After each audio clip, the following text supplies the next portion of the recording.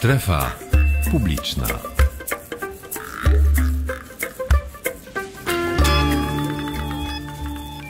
Już prawie 12 minut po godzinie 20. Jest środa, więc na antenie Radio Łódź czas na debatę. Maciej Trajanowski, dobry wieczór. Ja tylko przypomnę, że naszą debatę również można obserwować za pomocą Facebooka. Zapraszam na profil radiowy, nie tylko słuchać na częstotliwości 88, przepraszam, 99,2 w Łodzi.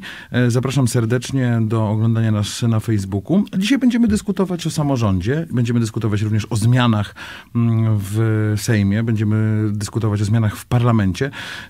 Właśnie z perspektywy samorządowej. Dlatego do studia zaprosiłem samorządowców e, z krwi i kości. Witam serdecznie Piotra Adamczyka, wicemarszałka województwa łódzkiego. Dzień dobry. Dzień dobry. Dzień dobry Państwu. Marcina Gołaszewskiego, przewodniczącego Łódzkiej Rady Miejskiej. Dobry Dzień wieczór. dobry, dobry wieczór. I Dariusza Klimczaka, radnego sejmiku województwa łódzkiego, nowo wybranego posła na Sejm, czyli Dobry można wieczór. powiedzieć posła INSPE Tak e, jest. obecnie. Tak jest. Dobry wieczór, witam serdecznie. Dobry wieczór. Ale zaczniemy, Państwo pozwolą, od e, tematu tak naprawdę sprzed chwili, bo przed chwilą, przed, przed kilkoma chwilami zakończyła się sesja Łódzkiej Rady Miejskiej, na której zapadły bardzo ważne decyzje, e, mianowicie na przykład e, podwyżki opłat, i to prawie dwukrotne podwyżki opłat e, wywozu śmieci. E, Panie Przewodniczący, zwracam się do Pana Przewodniczącego Marcina m, Gołaszewskiego. Skąd taka decyzja nagle pod wyborach? Bo to jest niesamowity zbieg okoliczności, że mijają dwa e, dni od wyborów. Wiceprezydent miasta, który no, został wybrany również do parlamentu, ogłasza, że e, dwukrotnie wzrastają ceny. Czy to nie jest, e, no można powiedzieć, doskonałe wyczucie czasu? Panie redaktorze. Y, No to nie jest też tak, dlatego, bo podwyżki były stopniowe. One nie odbywają się przecież teraz, zaraz po wyborach do parlamentu, tylko one się odbyły także no, po wyborach do samorządu, a więc wtedy wzrosły one e, dokładnie z 7,12 na 13,22, a więc na segregowane i nieposegregowane śmieci. Teraz one wzrastają do ujednoliconej kwoty 24 zł, no ale to wynika z, mm, no, z tego z, prawa po prostu, no bo teraz każdy obywatel, mieszkaniec Łodzi jest zobowiązany do segregowania śmieci. W przypadku, gdy nie będzie ich segregował, ta e, kwota umowna za wywóz będzie wynosiła 48 zł. E, I to jest oczywiście, że wzrost opłaty środowiskowej, to jest wzrost cen za prąd. Ja tutaj zauważę, że samorząd na tym nic nie zarabia. My jako e, samorząd łódzki nie dostajemy z tego ani złotówki, a więc te koszty, które wzrastają w całkowicie w pełnej kwocie idą, są przeznaczone tutaj dla firm, które odbierają te śmieci. Jest też dość mała konkurencja na rynku odbioru śmieci. To wzrost cen e, prądu, e, no to jest szereg czynników, No które tak. powodują Panie to, Przewodniczący, że ale chyba nie próbuje Pan powiedzieć, że to się okazało tak naprawdę w dwa dni. Miasto chyba wiedziało wcześniej, że będą te podwyżki. One już dość szybko są wprowadzone, bo będą wprowadzone od grudnia. od 1 grudnia Mieszkańcy tak, ta mieli szansę przygotować się na te podwyżki. Cen, na przykład wzrost cen prądu też nie jest tajemnicą. E, opłata środowiskowa została wprowadzona naprawdę e, miesiące temu. W związku z powyższym można powiedzieć, że no, można było informować mieszkańców wcześniej, że wzrosną ceny. No tak, ale te podwyżki w dużej mierze muszą być kierowane, jeżeli są jakieś wyrzuty, no to właśnie nie w stronę samorządowców, a więc nas, tylko w stronę y, partii rządzącej, no bo to przecież y, y, Nie, te podwyżki, no które następowały, tak, za chwilę te, te podwyżki, które następowały, wynikają, z czynników niezależnych od samorządu. No my nie mamy wpływu na wszystkie te wymienione przez pana redaktora i przeze mnie e, elementy, no i my nic na tym nie zarabiamy, więc mieszkańcy muszą mieć świadomość, że e, te koszty to są koszty, które po prostu e, wymuszają na nas firmy odbierające śmieci. E, No, no to my nie mamy tutaj pola manewru, żeby rekompensować to w jakikolwiek inny sposób. No dobrze, no to w takim razie oddajmy głos przedstawicielowi partii rządzącej. Piotr Adamczyk, wicemarszałek województwa em, łódzkiego, ale dawniej również y, radny łódzkiej Rady Miejskiej, więc doskonale, No e, doskonale znający te realia. realia. tutaj z pozycji dawnego, dawnej mojej funkcji radnego Rady Miejskiej, bo Sejmik Województwa niespecjalnie ma tutaj pole do decyzyjności. Natomiast, e, no, panie przewodniczący, no, ja pamiętam z tamtych czasów, że jednak jakieś pieniądze w budżecie miasta, to z- niezarabianie nie oznacza, że nie zostawały.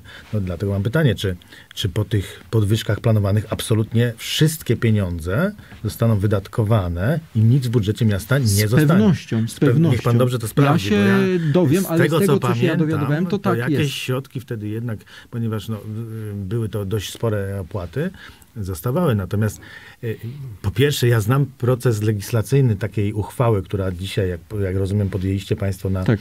na, na, na sesji Sesji. Rady Miejskiej. Jeżeli dzisiaj jest środa, e, to taki proces legislacyjny tej uchwały, no to musiał co najmniej przebiegać tydzień, jak nie więcej, Nie, nie. żeby był z, napisany, żeby przeszedł przez procesy decyzyjne Urzędu Miasta Łodzi, e, później, żeby został wprowadzony, no tydzień wcześniej przecież musiał być konwent, Nie, nie, który ten wprowadzono. projekt został wprowadzony A dzisiaj tak na hoc, posiedzeniu na taśmę. sesji Rady No tak, no to widać, panie redaktorze, ewidentnie, że to było tak, że przed wyborami była cichosza, Absolutnie nie mówimy. No, no nie, nie przekona nas pan, pan, panie e, przewodniczący, że jest inaczej. No naprawdę od czyli co, rozumiem, że w poniedziałek rano wstał prezydent i mówi nie, dzisiaj piszemy uchwałę. Na środę musimy zdążyć z pisaniem uchwały, ponieważ dowiedzieliśmy się, że podwyżka prądów jest, że jest opłaty środowiskowe większe, że jeszcze to, tamto, tamto. Policzył, To mówi 25 pozwólmy zł jest konieczność. Pozwólmy odpowiedzieć panu przewodniczącemu. Trudno mi odpowiadać tutaj za decyzję pana wiceprezydenta Treli, no, który to ogłosił wczoraj na konferencji. Ja jedynie powiem, że y, no, taki projekt uchwały wpłynął dzisiaj do Rady Miejskiej i on został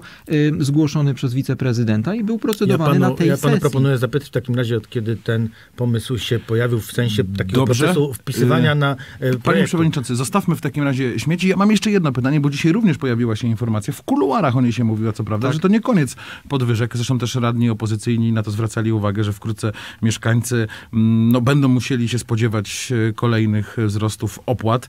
E, oczywiście żadnego, żadnej uchwały jeszcze nie ma, żadnego projektu, także budżetu na przyszły rok nie ma, Tak. ale można przypuścić, że na przykład bilety MPK pójdą w górę, opłaty za parkowanie, woda i ścieki, o takich opłatach się e, w kuluarach Rady Miejskiej mówi. że ja nie słyszałem o takich y, podwyżkach, że w ogóle są brane pod uwagę. Przy czym no, musimy y, mieć na względzie to, że jednak polityka PiSu do tej pory prowadziła do tego, że samorządy coraz bardziej były obciążane finansowo.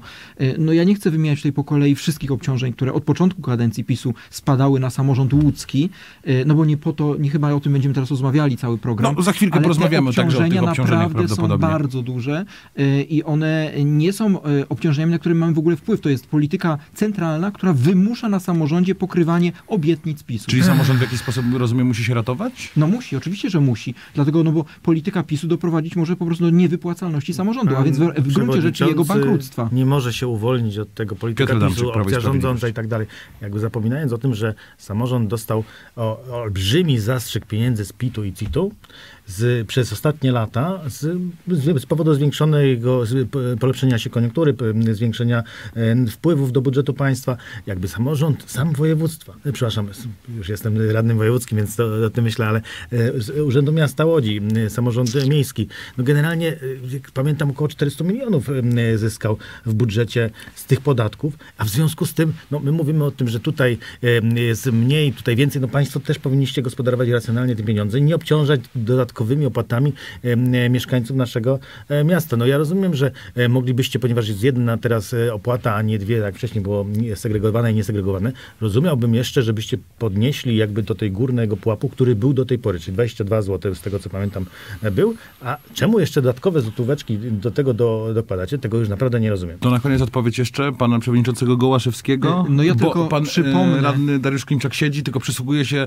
dyskusji. Za chwilę przejdziemy oczywiście Ja do tylko tematów. przypomnę panu radnemu tutaj, że obciążenia wynikające tylko i wyłącznie z deformy edukacji, a więc z kosztów kosztów, Panie, które ale samorząd... rozmawiamy? Nie, panie radny, pan mówi teraz, że mówi pan o picie i cicie. To ja mówię, że z jednej strony to są wzrosty dochodów samorządu wynikające właśnie z tych podatków, ale z drugiej strony Rozumiem. mamy obciążenia wynikające z z deformy edukacji. edukacji Moment, moment, państwo moment. Proszę państwa, proszę Panie państwa, żeby państwo posłuchali bardzo dokładnie, dlatego, bo deforma edukacji spowodowała znaczący wzrost wydatków y, samorządu na właśnie y, edukację w, w Łodzi. Wzrost y, podwyżek dla nauczycieli to także rekompensuje samorząd.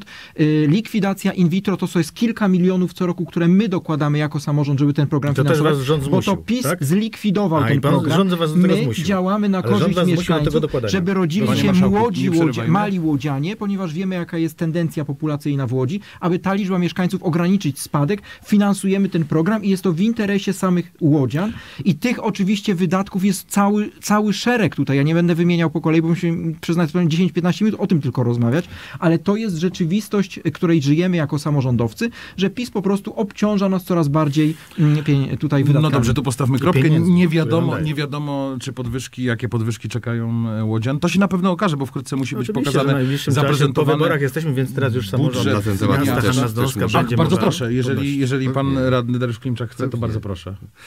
Y, ty- Wszyscy ci, którzy nas słuchają w Łodzi, chętnie dowiedzieliby się, jakie ceny y, za odpady y, płacą in, mieszkańcy innych miast. Dokładnie. Na przykład Rawa Mazowiecka płaci 25 zł po podwyżce od 1 e, lipca za niesegregowane, 12,50 za segregowane. Czyli złotówkę drożej niż teraz będzie płacić, y, niż teraz będą płacić mieszkańcy Łodzi. W ogóle gospodarka odpadami jest skomplikowaną kwestią, która teoretycznie zależy od radnych, od prezydenta, od danego samorządu, natomiast de facto gro decyzji wynika z uwarunkowań no, można powiedzieć wprost ministerialnych, bo na przykład y, jedną ze składowych y, y, cen jest tak zwana opłata marszałkowska, która Dokładnie. tylko z nazwy jest marszałkowska, bo pobiera ją marszałek, ale de facto ustala ją minister. I to, co uważam za niesprawiedliwe, to ustalanie właśnie w Warszawie tego, y, ile można składować, ile przetwarzać, y, w jakim czasie, a z tym wszystkim musi sobie poradzić y, miasto. Im większe, tym gorzej, bo na przykład mniejsze miasta, które na przykład dawno temu y, podjęły odpowiednie działania, tak wrócę do wspomnianej Rawy Mazowieckiej, gdzie powstała regionalna, y, tak zwany RIPOK, regionalna instalacja przetwarzania odpadów komunalnych i miasto samo sobie radzi z tymi śmieciami, które, y, które są wytwarzane między innymi na terenie y, miasta. Łatwiej sobie może y, dać radę i regulować to wszystko. No tak, ale to też jest na przykład mniejsze miasto. To też realia dużego miasta, no można powiedzieć wojewódzkiego, są inne też niż Tak, Rawy ale- Mazowieckiej. ale- ale Nie także- ujmując Rawie Mazowieckiej. E, oczywiście nie ujmując, natomiast e, e, także w innych miastach i pod miastami, bo to są także małe miejscowości, na przykład Julków pod e, Skierniewicami, który przyjmuje śmieci z innych części e, regionu. Uważam, że w ogóle przyszedł czas na mm, zrobienie porządku e, w tej części życia naszego e, państwa, bo, bo cierpią przez to e, mieszkańcy, bo te opłaty są naprawdę zbyt wysokie i uważam, że kilka regulacji, które można by było wykonać na poziomie rządowo-europejskim, bo tutaj Komisja Europejska ma bardzo wiele do powiedzenia, mogłoby ulżyć i, i, i, i zaoszczędzić czasu w takich debatach jak dzisiaj, gdzie nie warto się przerzucać jakąś odpowiedzialnością za te kwestie, bo przecież każdy radny, czy wojewódzki, czy miejski, e, chciałby, żeby te opłaty by były jak najniższe, bo przecież sam je też płaci. Y, To jeszcze pozwólmy odpowiedzieć y, panu marszałkowi. Potrzebna jest zmiana regulacji? Potrzebna jest refleksja nad tym, jak działa Myślę, system y, przejrzenie prawa odbierania odpadów? jest e, zawsze konieczne. No, pan e, obecnie będzie m, posłem, więc jakby najlepsza okazja do tego, żeby na poziomie Sejmu no, takie, takie przejrzenie tegoż prawa, może udoskonalenie. Nie twierdzę, że ono może nie być już doskonałe. Na pewno zrobić. Natomiast no, ja się dziwiłem, że tutaj pan podaje Rawę Mazowiecką jako 25 zł, czyli o złotówkę jeszcze więcej niż dzisiaj przegłosowała e, Łódź, która to ma jeszcze swój własny Tak, za, za e, niesegregowane, natomiast jest znaczy nie ma już teraz jeszcze... niesegregowanych, niesegregowanych. Teraz już jedna stawka Mówię jest. od 1 lipca takie uwarunkowania Tak, weszły w No w to rozumiem, że teraz będzie musiała być dostosowana ta uchwała yy, no odnośnie właśnie... To ta średnia będzie niższa. to pytanie właśnie, jaka wtedy będzie... No Łódź jak widać poszła nie po niższej, ani średniej Mm, jakiejkolwiek, no, tylko wyższe nawet. Tylko, że ja tutaj uzupełnię, mm, panie radny, że ta cena w Łodzi nie będzie ceną wygórowaną, dlatego bo w samym w Krakowie obowiązują teraz dwie stawki, czy obowiązywały wcześniej i to było 26 i 39 zł, a więc niesegregowane 39, to jest o 50% jeszcze wyższa kwota niż będzie obowiązywała w Łodzi, a w Rzeszowie ta kwota wynosi 20 i 30 zł, a więc też jest No, zdecydowanie tak, wyższa ale niż przy u nas. takim sondażu pokazując, jakie tam są opłaty w tych miastach, trzeba jeszcze pokazać, jakie są dochody tych mieszkańców. Średnio oczywiście Ależ dochody. oczywiście, Więc tak, no, nie no, ale możemy no- mówić, że w Łodzi, na ale w przykład w Krakowie- Warszawie czy nie, w nie, no, ale- Poznaniu, no tam są jednak te średnie Ale panie radny, no w Krakowie w wynagrodzenia nie są o ich można 50% wyższe niż w Łodzi. stać na więcej. Są w takim razie wynagrodzenia mm, nieporównywalne, jak rozumiem. Dobrze, y, mieliśmy rozmawiać o rządzie, mieliśmy rozmawiać o styku rządu y, i samorządu, o nowym y, Sejmie. To w takim razie wspomniał pan przewodniczący mm, Marcin Gołaszewski o opłatach, przepraszam, o obciążeniach, jakie musi samorząd ponosić w związku z no, różnego rodzaju projektami, czy też z brakiem subwencji. To pytanie w takim razie do panów, czy być może samorząd z rządem powinny, samorządy z rządem powinny y, zacząć i usiąść rozmawiać na ten temat. No czy to może ja odpowiem, dlatego, bo jestem członkiem akurat Związku Miast Polskich. nie ma takiego dialogu do tej pory? Ale rzeczywiście, że nie ma. E, przewodniczący Związku Miast Polskich, e, prezydent Gliwic, teraz wybrany na senatora, e, Frankiewicz, e, wielokrotnie apelował do premiera Morawieckiego o spotkanie zarządu Związku Miast Polskich właśnie z rządem w ramach wspólnej komisji rządu i samorządu. No i co? No i był odsyłany z kwitkiem i te, te prośby się od miesięcy miesięcy były wystosowywane w stronę rządu. Nie było takiej woli rozmowy i tutaj Związek Miast Polskich ma symulacje finansowe na przyszły rok i, i ostrzega przed tym, że jeżeli te obciążenia finansowe będą coraz większe, a jeżeli po drodze zdarzy nam się kiedyś kryzys finansowy i właśnie te dochody z PIT-u i CIT-u spadną dla samorządu, spowoduje to po prostu ujemny bilans na rachunku samorządu, a co z tym związane? Brak przyjęcia uchwały budżetowej, a co z tym związane? Wiadomo, a więc paraliż y, samorządu i powołanie pewnie komisarza. w. Zastanawiam się tylko, czy to nie jest e, jakby nowe zjawisko, czy to jest nowe zjawisko, bo z tego co pamiętam, na przykład za mała subwencja oświatowa e, jest problemem od wielu, wielu lat. Ależ oczywiście, że jest, tylko że nie tutaj ostatnich jeszcze... czterech, tylko także, no powiedzmy, ostatnich ośmiu Oczywiście, lat. ale ostatnich nikt w 20. przeciągu 8 czy 20 lat nie wpadł na pomysł, żeby zdemontować całkowicie system edukacyjny w tutaj to Polsce. pan No nie, no pani Zalewska mocno- zdemontowała system, uciekła do Brukseli. Nie, nie, nie, Natomiast- nie, nie, nie, Natomiast nie. pan nie był radnym w wcześniejszych kadencji i Pozwólmy pan skończyć. nie zna tam tych problemów, które się Dobrze, borykał znaczy ja samorząd powiem doskonale ostatnie- mogę panu w tym momencie powiedzieć, ponieważ ja wtedy byłem, że zawsze samorząd miasta Łodzi, myślę, że wszystkie pozostałe również, Dokładały. To y, jest- były bardzo mocno obciążone dodatkowymi środkami, które trzeba było wyasygnować z środków tak zwanych własnych, czyli z środków, które były z, i tak wpływały y, ogólnie, a nie z subwencji. Ale od- To nie jest tak, że to nagle pan powie, powie Zalewska, minister zrobiła coś źle. To trzeba w takim razie cofnąć się dużo wcześniej, e, do czasów, kiedy były utworzone te podwaliny pod em, tego, te, ten, ten system, kto i ile em, jest przekazywane, kto finansuje i kto jest, przy- jaka środki są przekazywane i tam wtedy dyskutować z tymi projektodawcami, nie dzisiaj. To, to, to nie jest Dobrze, pani ale od miesięcy jest projekt Związku Nauczycielstwa Polskiego złożony do rządu, aby pensje, uposażenia nauczycielskie były w 100% pokrywane przez rząd. Dlatego, ponieważ to jest uregulowane w karcie nauczyciela i tak powinno być. Samorząd powinien odpowiadać jedynie za, y, y, za budynki, za wyposażenie obiektów, ale nie za pensje, bo to jest w gestii centralnej. Y, Nauczyciel nie jest zatrudniany przez samorząd, on jest opłacany, powinien być całkowicie przez Warszawę. A co do, jeszcze wracając do tematu samorządu, tych relacji finansowych z Warszawą i tutaj z PiSem, no to ja mam nieodparte wrażenie i to powtarzam wielokrotnie, że PiS po prostu gra bardzo tak perfidnie, przepraszam za to określenie, żeby wykończyć finansowo samorząd. Nie mogąc wygrać wyborów w Znaczy, największych myśli pan miastach. przewodniczący, że to specjalnie po Tak, prostu? ależ oczywiście. Nie mogąc wygrać y, w największych miastach y, Polski, Warszawa, Łódź, Kraków, Poznań, Wrocław, Gdańsk, Szczecin, no co, chcą dorżnąć po prostu samorząd. No, No, tutaj... Zawsze, zawsze Dobrze, y, pan Dariusz Klimczak i za chwilkę damy odpowiedzieć panu Piotrowi Adamczykowi. Bardzo proszę. Zawsze był kłopot z tym, z tym porozumieniem rządowo-samorządowym, natomiast e, zawsze istniał dialog i może on był dosyć ostry e, między przedstawicielami, którzy reprezentowali chociażby nas, samorządowców Komisji Wspólnej Rządu i Samorządu. Natomiast ten dialog istniał. E, Dzisiaj e, wiem od tych osób, które m, dalej zasiadają w podobnych gremiach, e, bądź na przykład uczestniczą w poszczególnych konwentach, czy miast, czy gmin wiejskich, że takiego dialogu nie ma. Nie, nie ma spotkań, nie ma rozmów. Natomiast myślę, że to wynikało z uwarunkowań wyborczych. Jesteśmy już po wyborach. Ja mam nadzieję, że wszystko wróci do normy. Dotychczas była taka propaganda sukcesu ze strony partii rządzącej, że na wszystko wystarczy, a, a dowody są po prostu w gminach. Przecież Ministerstwo y, Finansów y, przedstawiło prognozy na rok przyszły. Ja na przykład czytam na Twitterze tweet wójta gminy Sędziejowice w powiecie łaskim, gdzie e, twierdzi, powtarza za premierem, że koszty związane z podwyżką e, najniższej krajowej i zwolnieniem z PIT e, do 26 lat miały samorządom zrekompensować wpływy z udziału w podatku PIT. I pyta się, to czemu dochód mojej gminy z tego tytułu przez Ministerstwo Finansów prognozowany jest o 180 tysięcy mniej?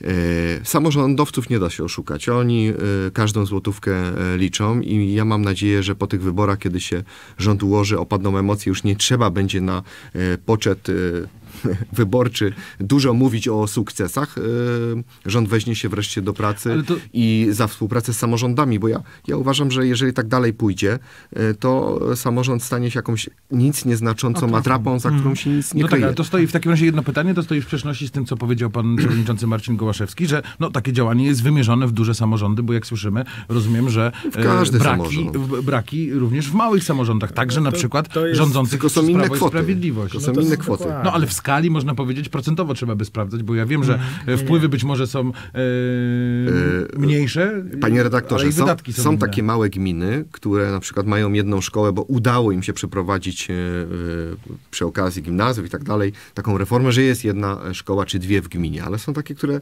zostawiły to po staremu. E, Istnieje w, w małej gminie pięć małych szkół i oni przeznaczają połowę budżetu albo 60% na funkcjonowanie edukacji, ponieważ nie mają odpowiedniej rekompensaty z budżetu e, państwa. Ten przelicznik, który dzisiaj funkcjonuje, te algorytmy bardzo skomplikowane nie oddają w istocie tych e, potrzeb, e, które muszą pokrywać i głowić się na sesjach radni wspólnie z wójtami i burmistrzami. Bo ja mówię tutaj, nie chcę powtarzać tego, co się dzieje w miastach prezydenckich, jest pan przewodniczący. Natomiast w, w takiej małej gminie, gdzie na przykład trzeba dołożyć ten kolejny milion do inwestycji, to oznacza, że nie będzie chodnika czy drogi, czy nie zgłosi się do programu z Urzędu Marszałkowskiego czy od wojewódzkiego, bo po prostu nie ma na wkład własnych. Pozwolę odpowiedzieć e, marszałkowi Tym samym Petrowi pan poseł obalił teorię spiskową pana przewodniczącego, że oto PiS uwziął się na duże miasta, a, a i tutaj nie chce odpuścić, nie dając im pieniędzy na prowadzenie szkół. Otóż nie.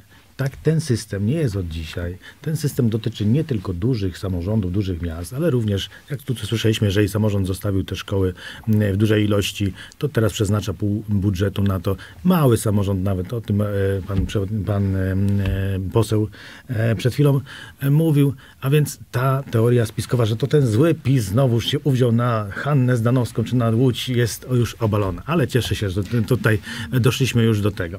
Natomiast, ta- ta teoria natomiast nie jeżeli pan chce tak bardzo, chce pan tak ja bardzo... powiem dla- tych słuchaczy, którzy nas słuchają, że pan Dariusz Klimczak y, tylko uśmiecha się pod nosem. E, Natomiast e, jeżeli tak mm, e, wrócimy do tej subwencji. Otóż rzeczywiście możemy część e, z podatków przesunąć na subwencję oświatową, jeżeli pan chce. No, Łódź i, i w ogóle wszystkie samorządy w ostatnich e, latach dostały ponad 5 miliardów więcej złotych niż e, w latach, kiedy rządziło PO-PSL. No to jeżeli tak, no to proszę bardzo, no przesunijmy to i będziemy mieli ten efekt, który pan chce, tak? Nie Możemy to o czymś zupełnie Ale nie, innym, nie, ja bo- wiem, że państwo chcecie z tamtych pieniędzy skorzystać jak najwięcej, a tutaj No nie, jeszcze dodatkowo. ale ale to w tendencja- takim razie, jeżeli tak, no to jeżeli chcecie to zrobić, no my, mamy tu posła w studiu INSPE, co prawda, ale za chwilę mm, już zasiadającego w Sejmie, no może złożyć taki wniosek do budżetu, żeby pieniądze zabrać stamtąd, przełożyć tu.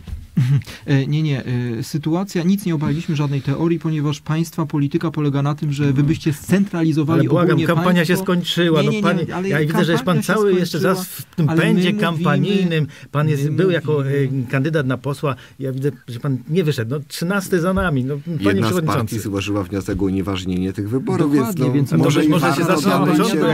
Powiedzmy, że- Nie, nie.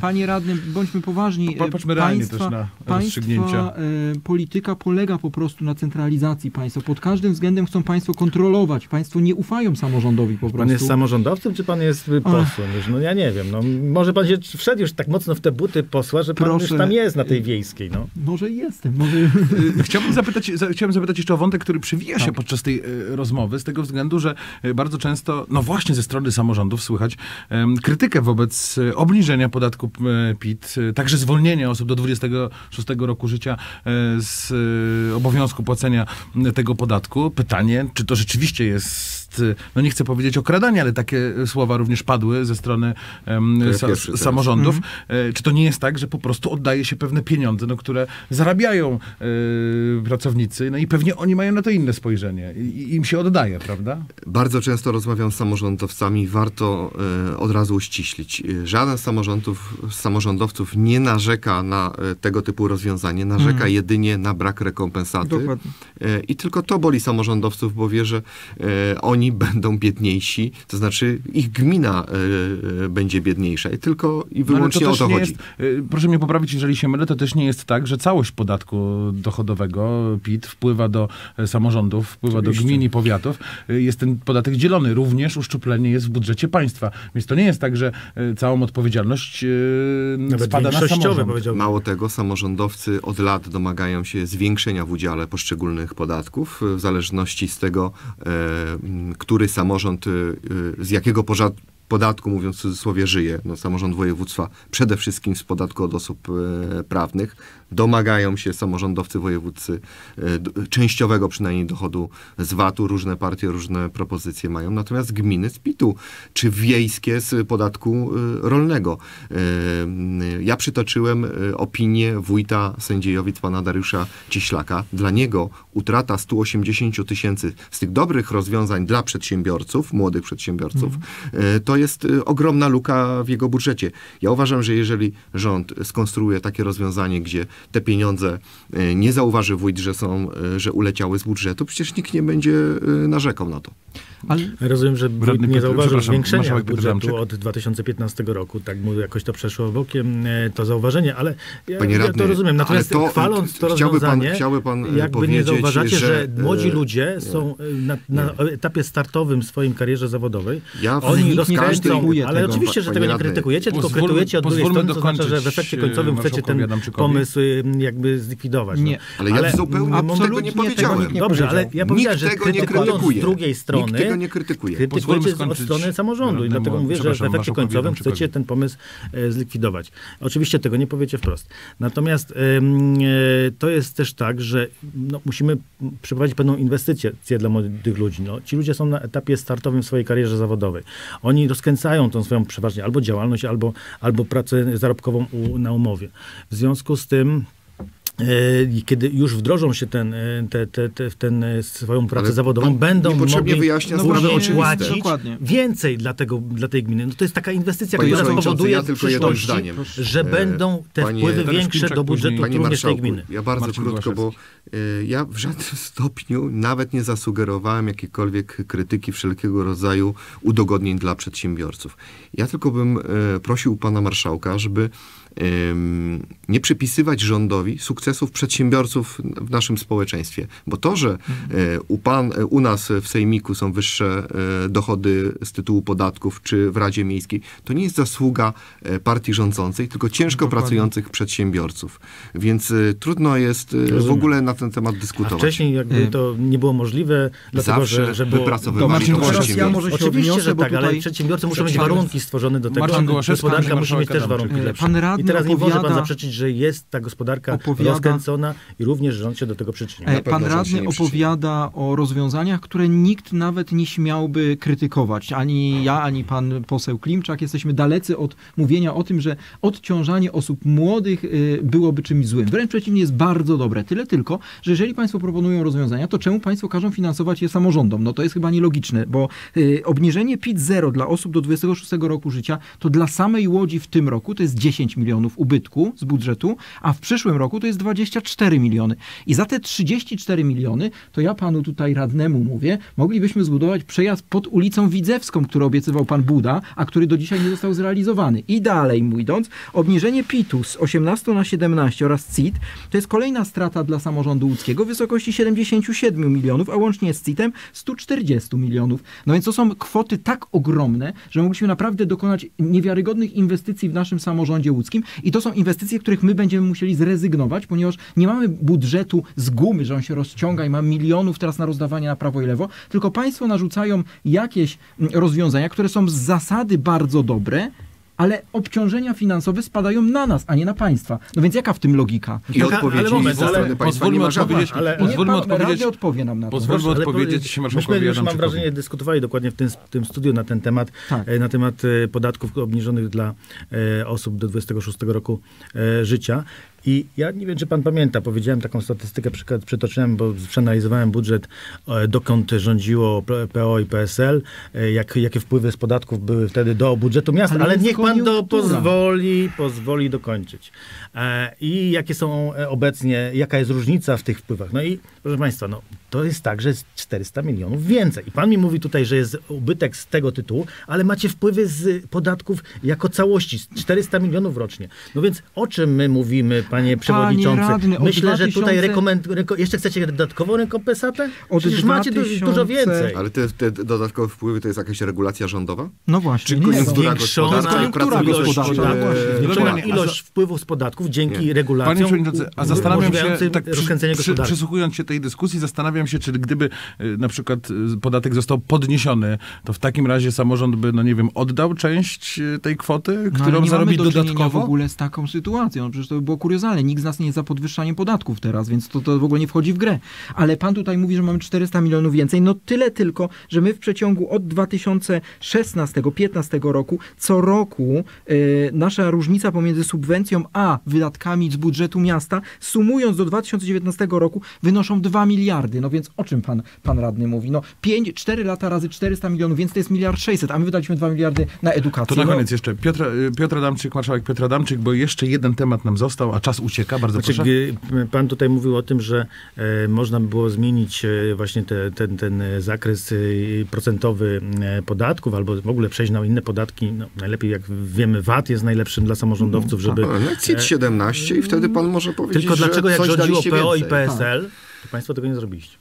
Ale teraz rządzą państwo. Ty Nie, nie, ale to- Jeżeli to pan nie chce można- wracać do e, Chcę wrócić do czasu, kiedy pan miał wpływ na to, z- co się ja działo i w ja samorządzie, nie byłem w i rządzie. w samorządzie. Ja tylko bronię ale się no, przed tanim Jest pan populizmem. wiceprezesem PSL-u. Bo no to jeżeli rząd coś tym daje, oto to otwarcie. jest- to jest okej, Jeżeli że tak, rząd to nic mógł nie daje. pan też poprzez swoich kolegów e, zadziałać w ten sposób, Nie, żeby, nie chciałbym żeby tu można było nie powiedzieć, ale e, z tego co ja wiem, struktura e, dochodów e, CIT-owskich się zmieniła, jeżeli chodzi o samorząd e, e, wojewódzki w przeciągu e, określonych lat. No nie, E, no jakich lat? No, o czym my mówimy? O, Panowie, pewnie nie rozwiążemy tego tematu. Przejdźmy jeszcze do ostatniego tematu, który e, nam został. W ogniu krytyki znalazł się parlament, obecny parlament, za to, że e, została, z, z, zostały zwołane posiedzenia Sejmu i Senatu już po wyborach.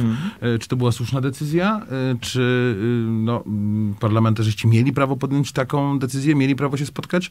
Marszałek Piotr Z Adamczyk. punktu widzenia formalnego myślę, że tutaj nie ma nic y, możliwości uchybienia prawu. Natomiast nie znam porządku obrad, nie, nie jestem posłem, nie byłem posłem, nie znam jaki był porządek obrad tych obrad. Ale jak rozumiem, kadencja jeszcze trwa w takim no, razie. Kadencja oczywiście jeszcze trwa, więc tutaj z punktu formalnego jest wszystko legartis. Natomiast nie znam e, tych punktów, które były jeszcze do To skąd taka krytyka w takim razie, jeżeli wszystko No, Lege artist, jakby to było tak normalne, to byłoby to standardem, że jeszcze stary Sejm po wyborach spotyka się i obraduje i uchwala y, ustawy, y, które może akurat nowo wybrani Rozumiem, posłowie że nie pan ma jakiś przyjęliby. przepis mówiący, Ja mam pewne wątpliwości, ponieważ z taką sytuacją mieliśmy do czynienia w drugiej Rzeczypospolitej, no to jeszcze przed pierwszą, przed drugą wojną światową i chyba to nie jest normalne. I dlatego to jest złamanie prawa. No, no, no nie, ale jeżeli. y, Panie y, radny, jaki mandat mają jeszcze teraz posłowie do podejmowania decyzji? kadencja są trwa. wybrani nowi e, Ale no, posłowie wybrani, ale kadencja trwa chyba, tak? Ale nie, państwo obawiając się porażki wyborczej y, zapewnili sobie Oj, jeszcze pan posie- wie, posiedzenie Sejmu i nie. Jak Senatu. pan wie to- doskonale,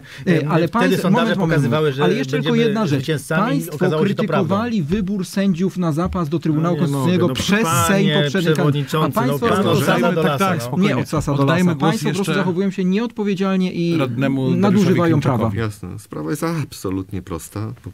Z punktu widzenia formalnego e, nie sposób e, zakwestionować e, legalności tych posiedzeń. Formalnego. Natomiast jeżeli chodzi o kulturę polityczną, to jest zerowa. Dokładnie. Nikt poważny czegoś takiego by nie zrobił. Wszyscy wiemy, że to było zabezpieczenie się na przypadek przegranych wyborów. Dokładnie. I kto wie, jak zostanie rozstrzygnięte, jeżeli Prawo i Sprawiedliwość nie przyciągnie na swoją stronę kilku senatorów. Trochę Wtedy zupełnie mogą być inne podejmowane decyzje. Ja uważam, panie redaktorze, że tutaj miarą tej złamania tej pewnego rodzaju dobrych zwyczajów politycznych będzie e, zmiana porządku obrad. Jeżeli Prawo i Sprawiedliwość pójdzie krok dalej i zmieni porządek obrad e, w stosunku do tego, który był uchwalony przed wyborami, to będzie naprawdę duża plama na honorze Prawa i Sprawiedliwości, które tak naprawdę chyba najlepsze lata Trochę- już ma za sobą. Szanowni panowie, trochę celowo zapytałem o to, dlatego że ta krytyka jak żywo mi przypomina sytuację z zeszłego roku w łódzkim samorządzie. To znaczy tuż po wyborach zebrał się sesja, zebrał się Sejmik Województwa Łódzkiego i tuż po wyborach, e, nie wiem, chyba dwa dni po wyborach, radni przegłosowali wpisanie na listę regionalnych instalacji przetwarzania odpadów komunalnych Tak instalacje na Teofilowie. Pomimo E, tego, że czy, wtedy, czy wtedy w takim Tak razie jest. nie było to, Pan nie wtedy wiem, był w większości rządzącej. Tak jest i chętnie panu wyjaśnię. Y, Ta sytuacja była spowodowana spowodowana państwa decyzją, PiSu. E, Zarządziliście w ten taki sposób wybory, że później ustawę musieliście Oczywiście, zmieniać. jeszcze- Tak. Nie, i dlatego Sejmik wina. musiał być zwołany po tym. Tak, No panie tak, ale czy w marszałku. takim razie- e, Takiego, e, takiego bałaganu prawnego, jak jest za waszych czasów, dawno nie Panie było. Radny, ale czy w takim razie Natomiast wówczas obligowały nas przepisy. Tak. miał y, mandat do tego, czy też no, moralne prawo do tego, żeby decydować no, dla, dla mieszkańców o bardzo ważnej sprawie, bo jednak Bardzo ważna ta, sprawa ta, ta, była, ta sprawa e, była niewygodna, której w ogóle obecny sejmik nie naprawił. No i czemu e, wtedy właśnie przed wyborami nie mogli ja się tego pamiętam, jak pan Dlaczego gardłował przed tej, wyborami nie można Ja było pamiętam, jak pan gardłował wtedy Niech w tej powie. sprawie i pan nic nie zrobił w tej sprawie po wyborach. Natomiast? Natomiast sytuacja proszę była bardzo powiedzieć, poważna. czemu pan nie zapodjął tej i, decyzji e, przed wyborami? A, może A nie można się, było to Może się pan uspokoić? Ale ja jestem bardzo spokojny. Może się pan uspokoić? bardzo spokojny. pomówmy po Bo kolei. pan redaktor się patrzy na mnie nie pyta, nie Dariusz pana. Klimczak, później Piotr Jeżeli pan Adamczyk. będzie miał coś do powiedzenia, Jeszcze mamy, jeszcze mamy jakiś czas, więc E, spokojnie wszyscy Ten sejmik, sejmik był zwołany y, ze względów czysto merytorycznych. Łódź y, była zagrożona, niektórzy radni mówili, że drugi Neapol będzie, Mhm. że będzie Łódź tonęła w śmieciach. I to była bardzo niewygodna decyzja, którą tamci radni podjęli. Natomiast radni Prawa i Sprawiedliwości nic z tym nie zrobili, a w ogóle była taka możliwość, ponieważ chyba z półtora miesiąca w ogóle trwała jeszcze ta kadencja, ponieważ tak się was śpieszyło do władzy, później musicie zmieniać ustawę. E, Nie chciałbym tutaj tłumaczyć tego, tej skomplikowanego, tej skomplikowanej procedury, natomiast w, w, obecnie w Sejmie jesteśmy w bardzo podobnej, e, ponieważ zostały zarządzone wybory bardzo wcześnie. E, Prezydent teraz ma 30 dni od tych wyborów i złapie się już w ostatnim dniu po 11 listopada, kiedy będzie można nowy Sejm zwołać. Prawo i Sprawiedliwość robi takie e, e, kabaret Monty Pythona chyba robił, że Ministerstwo Dziwnych Kroków. To jest rząd dziwnych kroków. Pozwólmy w takim razie odpowiedzieć Piotrowi Adamczykowi. Panowie cały czas próbują udowodnić e, jakieś e, etyczne aspekty postępowania w polityce, ale nie kwestionują formalno-prawnych, bo tutaj wiecie, że polegniecie. Natomiast e, oczywiście, jeżeli wracamy do Sejmiku, to panowie, państwo w tamtym czasie mogliście podjąć tą uchwałę przed wyborami, tylko nie chcieliście, bo była niewygodna. Po wyborach, proszę bardzo. Więc to nie jest tak. A panowie straszyliście przez ten rok, pan redaktor z pewnością był na konferencjach, więc słyszał, że oto w lipcu, sierpniu w Łodzi będzie rzeczywiście To Neapol. nieprawda. Mieszka- no jakżeż nie, no, w- we wrześniu najdalej. Neapol miał być w Łodzi, miał być śmieci, które będą niewywożone. Myślę, że pan A redaktor... zablokował pan e, I, tą i, instalację? czy takie, I czy takie były y, efekty tych y, sytuacji? A zablokował pan tą instalację, przeciwko nie, której pan nie, nie protestował? blokowałem. Natomiast To niech pan jeszcze- powie mi, czy takie, taka była sytuacja, czy rzeczywiście w Łodzi zdarzył się Neapol. Nic pan nie To zrobił tej jeszcze radnym, jeszcze Dziękuję za przewodniczący Marcin Gołaszewski. No ale tam proszę. mieliśmy do czynienia z konkretnym problemem, który musiał zostać rozwiązany dla dobra mieszkańców, a tutaj nie mamy konkretnego problemu. My nie wiemy, w jakim celu Sejm był Nie no, zwoływany. No na bo- przykład sprawa, sprawa korytarzy życia została przegłosowana i to też jest chyba konkretna sprawa, jeżeli, bo to rzeczywiście można tak uważać, to też jest No, tej konkretna sprawa do rozwiązania. zrobiona. Edukatorzy seksualni też chyba. No ta sprawa została akurat odesłana do komisji. Tak, odesłana do komisji. A no, ponieważ jest to projekt y, społeczny, więc y, zajmie się już ją prawdopodobnie następne, y, następny parlament. Między innymi tak, pan radny. pięciu lat. Do pięciu lat, tak, zaostrzenie. Nie, nie, no tam mieliśmy konkretny, realny problem y, mieszkańców miasta i województwa. Tutaj, no to nie są aż tak y, ży, życiowo, życia życiowo jest- no konieczne teraz, w tym momencie. przecież mogliście, mógł poprzedni Sejm No to tak jak i załatwić. państwo nie mówiliście, załatwił, no. Tak nie załatwił, mówiliście. bo y, w ogóle tam był taki paradoks, bo z jednej strony y, Prawo i Sprawiedliwość mówiło, że trzeba szybko, krótką kampanię wyborczą zrobić, bo nie ma co tutaj epatować Mhm. wyborców jakimiś y, kwestiami y, kampanijnymi, a z drugiej strony pani marszałek powiedziała, że to było na wniosek posłów Prawa i Sprawiedliwości, którzy chcieli wydłużyć sobie kampanię wyborczą kosztem pracy w Sejmie. Tak, tak. Więc co, co posłowie Prawa i Sprawiedliwości zaproponowali? My nie będziemy pracować, tylko będziemy robić kampanię. No co, obuda, no.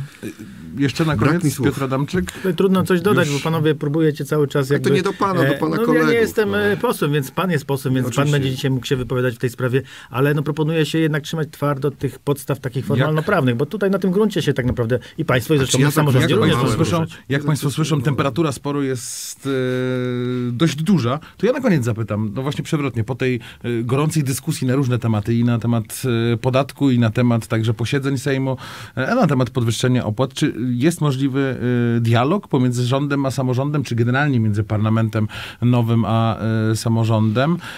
Czy jest to nowe otwarcie? Czy wybory stanowią nowe otwarcie? I czy jest możliwy dialog? No tego życzylibyśmy sobie chyba wszyscy, dlatego, bo to jest w interesie mieszkańców. Mieszkańców, a więc i Łodzi, i województwa, i Polaków. E, Tyle tylko, że mm, myślę, że ten e, wynik wyborczy, który osiągnęło PiS w, tym, w tych wyborach teraz, a więc efekt e, taki, że mają taki sa, sam skład osobowy w Sejmie, w sensie status quo, status quo zachowania ilości posłów i jednak utra, utrata Senatu, bardzo wierzę w to, że skłoni jednak do refleksji e, kolegów z PiSu tutaj, ponieważ no, wskazuje to jednoznacznie na to, że Polacy nie życzą sobie tak daleko idących zmian ustrojowych, no po jednak po tak ogromnych transferach finansowych, socjalnych do społeczeństwa, mm, e, suweren, Polacy wypowiedzieli się w wyborach dość krytycznie na wasz temat e, i chyba powiedzieli wyraźnie, że no, strata e, Senatu jest jednak dość znaczącym gestem w kierunku Pan marszałek rządzącej. tylko się uśmiecha. Musi, musi pan rzeczywiście jakoś wymyślić coś, co No, no, no pokaże, że fakty. PiS przegrał wybory. To za chwilę fakty. wyjdzie. No oczywiście, to 235 posłów, drugi raz pod rząd. E, to jest oczywiście no, sromotna przegrana, A tak jak Senat? według pana. No, myślę, że pan by chciał taką e, przegraną mieć, e, żeby mieć samodzielną większość. Zresztą tak, jak i mamy w Sejmiku. E, po raz pierwszy. No dobrze, ale wr- wróćmy, wróćmy w A takim Senat razie też wygraliśmy. do pytania. 48 mandatów e, do 40 Bez większości. 43? Bez No większości. to panowie, o czym my Wróćmy, mówimy? wróćmy Bez jednak do większości. pytania, czy jest możliwy w Bez takim razie samodzielnej dialog. większości, Ja nie wiem, czy ta dyskusja nie Musi pan powtórzyć, redaktor, pytanie, bo nie wiem, czy pan marszałek panie, pamięta. panie marszałku, czy, czy jest możliwe, czy, czy, czy, now, czy wybory stanowią nowe otwarcie? Czy, czy ten dialog Każde będzie... wybory stanowią nowe otwarcie i no, oczywiście ja mam nadzieję, że będzie ten dialog e, kontynuowany, jeżeli chodzi o styk samorządu z rządem czy z, z Sejmem. Ja myślę, że to są dobre myśli pod tym kątem. No dobrze, to w takim razie jeszcze radny Dariusz Klimczak, czy... E, No trzeba być dobrej nadziei i e, że, że to no, nowe otwarcie parlamentarne może sprzyjać e, takiemu dialogowi między samorządem a rządem. Natomiast no, praktyka dotychczasowych czterech lat wskazuje na to, że to będzie niemożliwe. Te cztery lata, które Prawo i Sprawiedliwość spędziło przy sterach rządowych, skoncentrowało się na odbieraniu kompetencji samorządom. Przecież wiemy, że w samorządzie wojewódzkim straciliśmy szereg kompetencji. Mamy wpływu na Wojewódzki Fundusz Ochrony Środowiska, Fundusz Rozwoju Kultury Fizycznej, zabrano nam ośrodki doradztwa rolniczego, zlikwidowano Zarząd Melioracji i Urządzeń Wodnych, nawet koordynację świadczeń rodzinnych, które dotychczas Regionalne Centrum Polityki Społecznej realizowało w kwestii 500+, zostało nam zabrane. Obawiam się, że y, to pana pytanie, czy jest możliwy dialog, myślę, że pójdzie w zupełnie innym kierunku. Pójdą, jeżeli Prawo i Sprawiedliwość będzie miało tą, y, tę możliwość y, twardego rządzenia, y, zabiorą kolejne kompetencje samorządom i, i, i to się źle skończy. To jeszcze na koniec, bo y, samotny reprezentant Prawa i Sprawiedliwości, dajmy się prognoza. jeszcze odnieść marszałek Piotr Adamczyk. Cóż, więcej nadziei, panie pośle. Mam nadzieję, że pan jest jednak optymistą i z tego e, punktu widzenia pan podejdzie do swojej nowej Tak, bo roli. chciałbym, żeby pan miał nowej co roli, robić, bo jak też tak dalej pójdzie, polecam, pan polecam więcej optymizmu i zaangażowania się właśnie w taki dialog, bo niestety, ale dialog na poziomie sejmiku, gdzie pan również był przecież długi czas e, radnym, marszałkiem również, e, no był też zerowy, także to też tak przypomnę tylko chyba. gwoli, gwoli informacji. Ja byłem wtedy w opozycji w tamtej kadencji. dużo mówił, ale w tamtym mało rozmawiał. czasie.